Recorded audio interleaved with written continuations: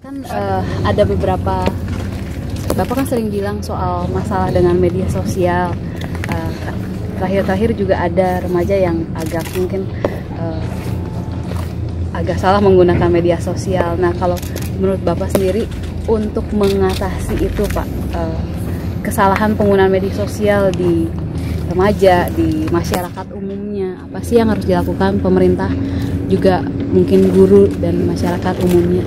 Ya semuanya harus semuanya harus mengingatkan menyadarkan betapa pentingnya media sosial tetapi juga bahayanya media sosial.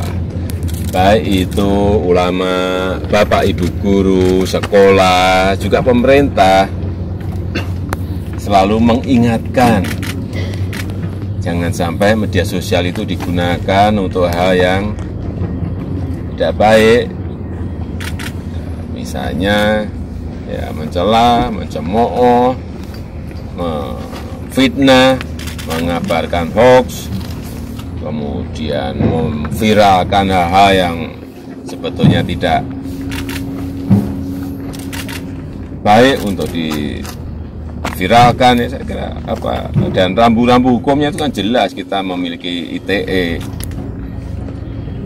Pak, yang mau tidak mau kalau ada yang apa mencoba-coba ya kan berhadapan dengan hukum. Itu yang selalu saya sampaikan hati-hati setiap bertemu dengan anak-anak sekolah hati-hati setiap ketemu dengan santri saya sampaikan hati-hati penggunaan media sosial setiap bertemu dengan masyarakat hati-hati penggunaan media sosial selalu saya sampaikan itu Pak ya. Pak, Pak, hari ini kan revisi Undang-Undang Terorisme dibawa ke paripurna dan akan diundangkan. Salah satu poinnya nanti akan ada pelibatan TNI yang dimasukkan dalam Perpres. Nanti akan jadi kewenangan dari pemerintah, khususnya dari Pak Presiden. Seperti apa Pak nanti? Ya itu kan nanti Perpres kan hanya teknis. Hanya teknis. Apakah sudah mulai Sebelumnya kan juga sebetulnya TNI bisa dilibatkan atas perintah Panglima tertinggi. Jadi udah nggak perlu sudah tidak ada lagi yang perlu dipersoalkan. Yang paling penting nanti teknis dalam pelaksanaannya seperti apa kan hanya itu saja.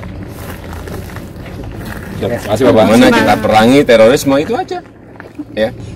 Baik dengan yang apa pendekatan yang lunak maupun pendekatan keras dengan soft approach maupun yang hard approach, ya, itu aja. Terima kasih Pak. Ya, Penjelasan ini Pak. Terima kasih Pak.